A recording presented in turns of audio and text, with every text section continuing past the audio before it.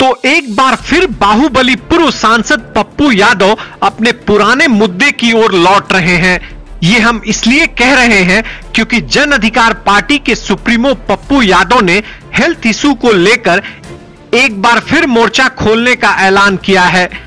पप्पू यादव ने कहा कि विशेष राज्य का दर्जा और कोसी सीमांचल के मुद्दे समेत फर्जी क्लिनिक और नर्सिंग होम के खिलाफ संघर्ष तेज होगा।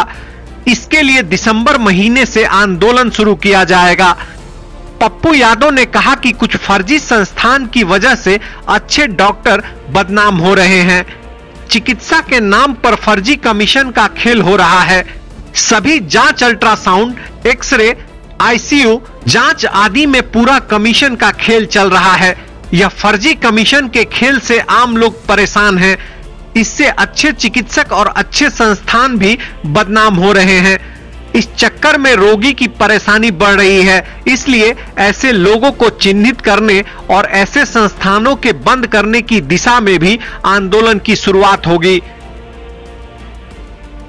उन्होंने कहा कि चिकित्सा सेवा के मामले में पूरी तरह से मेडिकल काउंसिल ऑफ़ इंडिया का जो मानक है, इस पर कार्य होना चाहिए। आपको बता दें कि पप्पू यादव ने एक वक्त में बिहार की चरमराती हेल्थ सिस्टम के खिलाफ आवाज़ बुलंद की थी। उन्होंने न सिर्फ़ सीमांचल, बल्कि पटना तक इसके खिलाफ संघर्ष किया और रातों रात लोगों के जहन में उतर गए।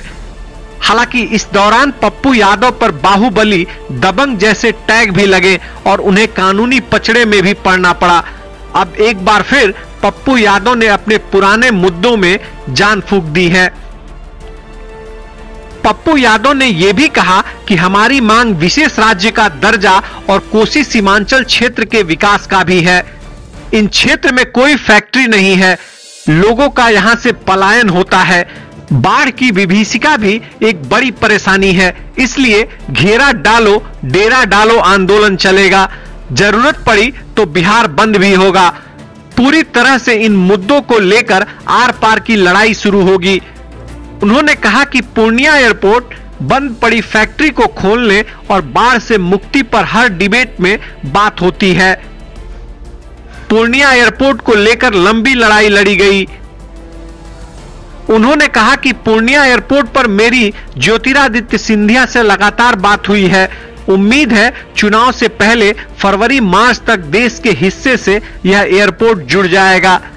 बता दें कि साल 1990 में विधायक बनने के बाद पप्पू यादव पाँच बार लोकसभा के सदस्य रहे। पहली बार उन्नीस सौ इक्यानवे में पूर्णिया से निर्दलीय चुनाव लड़े और जीत हासिल की।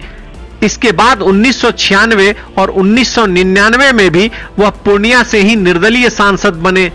2004 में लालू प्रसाद यादव ने उन्हें मधेपुरा से आरजेडी का टिकट दिया और वह चौथी बार जीते। 2008 में उन पर हत्या का आरोप साबित हो गया और उनकी सदस्यता रद्द हो गई। 2013 में पटना हाईकोर्ट से राहत मिलने के बाद पप्पू यादव फिर पांचवी बार 2014 में आरजेडी के टिकट से मधेपुरा से चुनाव लड़े और पांचवी बार जीते। 2015 में तेजस्वी यादव की बयानबाजी के बाद वह खफा हो गए और आरजेडी से दूरी बनाकर अपनी जन अधिकार पार्टी बनाई।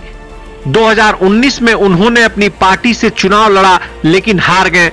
अब 2024 लोकसभा चुनाव में पप्पू यादव ने पूर्णिया लोकसभा से चुनाव लड़ने का ऐलान किया है।